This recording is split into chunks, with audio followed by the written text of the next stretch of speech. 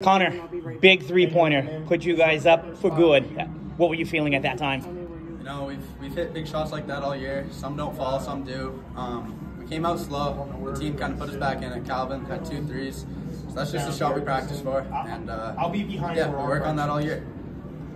How were the nerves? I mean, was that, were you really jittery at the beginning? Is that why you took the big lead early? I think every team comes into it. Um, we have those jitters. I've been here three years now, and it, you never get used to it. I mean, it's a different crowd, different floor, different team every year.